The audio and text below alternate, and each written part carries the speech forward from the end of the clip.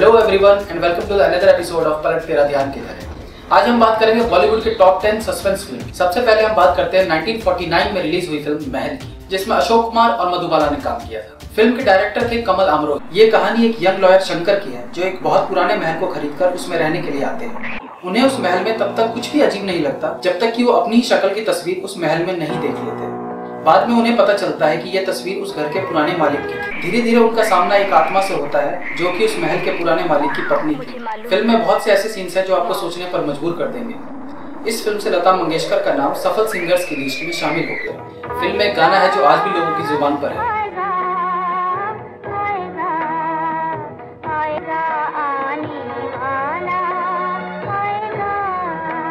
तो अगर आपने अब तक इस फ़िल्म को नहीं देखा तो एक बार ज़रूर देखिएगा। हमारी लिस्ट में नंबर दो पर जो फ़िल्म आती है, वो है उन्नीस में रिलीज़ राज खोसला की वो कौन थे। इस फ़िल्म के मुख्य किरदार थे मनोज कुमार और साधना। फ़िल्म की शुरुआत होती है एक बरसात की रात से, जहाँ मनोज कुमार एक डॉक्टर हैं जो अपने क्लिनिक से घर जा रहे थे। रास्ते में उन्हें एक लड़की मिलती है जो उनसे लिफ्ट मांगती है और अपना नाम संध्या बताती है। उसके कार में बैठते ही कार के वाइपर्स काम करना बंद कर देते हैं। एक कब्रिस्तान के पास वो लड़की गाड़ी को रोकने के लिए कहती है और कब्रिस्तान में जाने लगती है। उस कब्रिस्तान का दरवाज़ा खुद ब खुद खुल जाता है और फिर बंद भी हो जाता है। एक रात उस डॉक्टर को किसी का फ़ोन आता है कि उसकी बेटी की तबीयत बहुत खराब है और वो उसे देखने के लिए उसके घर आ जाए। वहाँ पहुँचने तक उस लड़की की मौत हो चुकी होती है। कुछ दिनों बाद माँ के कहने पर डॉक्टर की शादी हो जाती है, जिसे उसने देखा भी नहीं होता जब वो पहली बार उस लड़की को देखता है तो चौक जाता है, क्योंकि ये वही लड़की थी जिसे देखने वो उस रात घर गया था और जिसकी मौत हो गई थी। ये फ़िल्म आज भी कमाल की म्यूज़िक और ज़बरदस्त सस्पेंस के लिए जानी जाती है।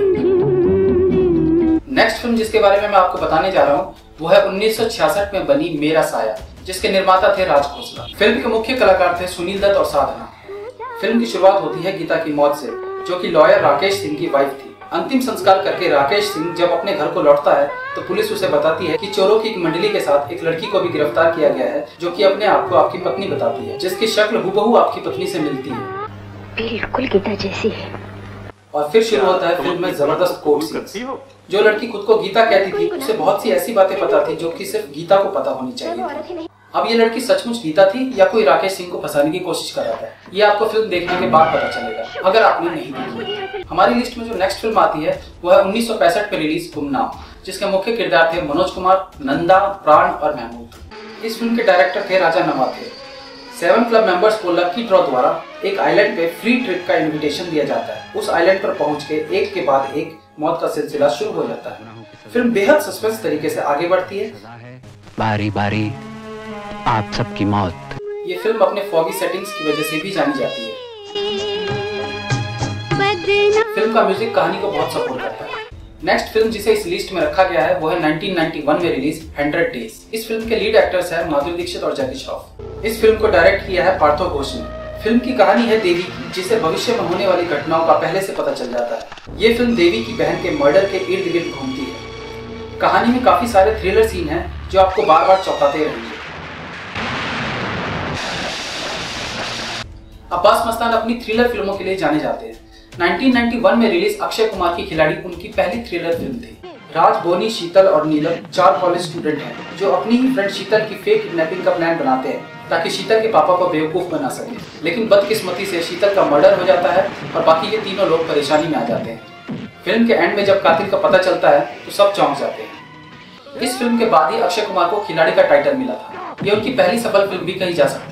नेक्स्ट फ़िल्म है 1997 में रिलीज़ गुप्त फ़िल्म के लीड एक्टर्स हैं बॉबी देओल काजोल और मनीषा कोइराला फ़िल्म शुरू होती है गवर्नर के मर्डर से जिसके मर्डर के इल्ज़ाम में उसके सौतेले बेटे साहिद को गिरफ़्तार किया जाता है।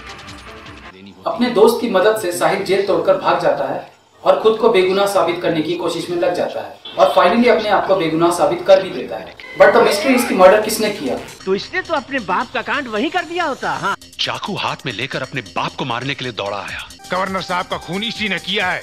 जब पुलिस ने साहिल सिन्हा को रंगे हाथों मर्डर स्पॉट पे अरेस्ट किया था उस वक्त ये शराब के नशे में धुत था। तो अगर आपने ये फ़िल्म नहीं देखी है तो ज़रूर देखिएगा। नेक्स्ट फ़िल्म है राम गोपाल वर्मा की कौन? ये फ़िल्म रिलीज़ हुई थी 1999 में जिसके मुख्य किरदार थे उर्मिला मातोड़कर मनोज वाजपेयी और सुशांत सिंह।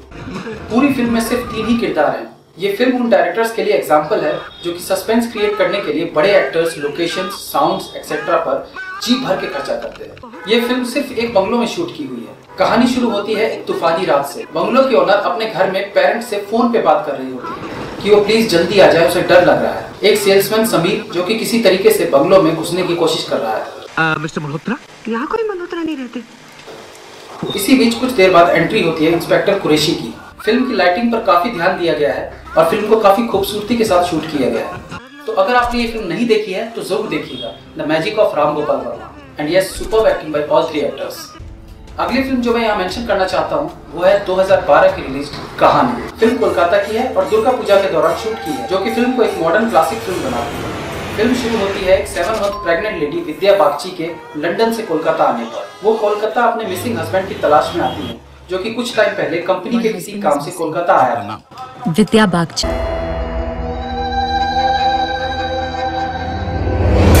फ़िल्म के क्लाइमेक्स को बहुत खूबसूरती के साथ दिखाया गया है जिसे देख के ऑडियंस दंग रह जाती है। विद्या बालन ने इस फ़िल्म में अपना बेस्ट परफॉर्मेंस दिया है and hats off Nawazuddin Siddiqui for इस सीबीआई ऑफिसर्स को। Last but not the least 2015 में रिलीज़ दृश्यम। ये फ़िल्म चार पाँच भाषाओं में पहले भी बन चुकी है। इसके बावजूद ये फ़िल्म अपने सस्पेंस को बनाए रखने में कामयाब रहती है। मेरा बेटा कहाँ है? अब ये एक खेल बन चुका है जिसमें जीत भी हो सकती है और हार भी।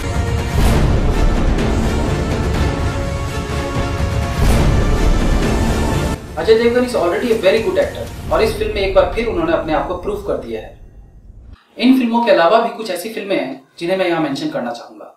फिल्म्स लाइक इत्तेफाक तीसरी मंजिल कोहरा धुंध खामोश खोज कब क्यों और कहा can also be mentioned in this list thanks for watching like comment and subscribe if you like the video मिलते हैं अगली बार फिर किसी नए टॉपिक के साथ. तब तक के लिए